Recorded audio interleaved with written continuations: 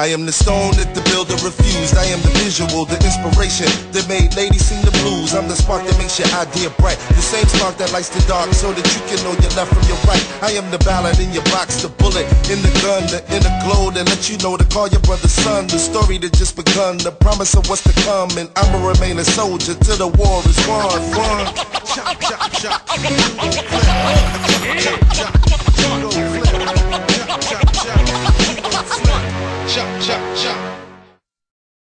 Hey guys, I'm a little mad right now because a few margins were being mean to me earlier. You wish!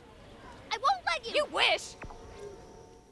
Nah, I'm just kidding. This your boy Flame Dragneel here, and today I'm just going to be showing you, uh, well, act actually answering a few questions. So, people have been wondering, how am I activating Dragon Fist after I do this move right here? This is a little preview real quick.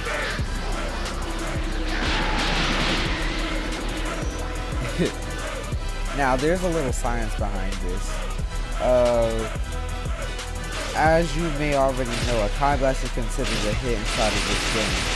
So, basically what I do is use the Ki Blast as a substitution.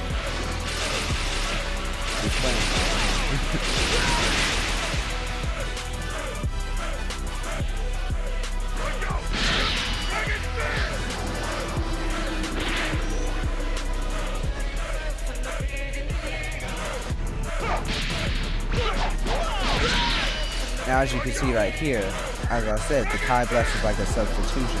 So basically the ultimate like does a whole bunch of more Ki Blast than I do, but like it's still cool. But you have to make sure to use the certain type of Alright, now right here, there's another asked question. How am I teleporting when I'm using what is it called? Super Dance? Yeah. Well, basically, it's the same thing like Dragon Fist. basically, like basically the kick is a, well, the Ki Blast is a substitution of the kick. So yeah, and I just play around with this. This is a cool combo though.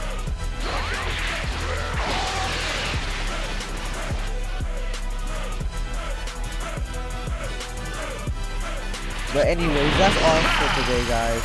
Uh, I'll just let y'all sit here and yeah, destroy beers. See you guys later.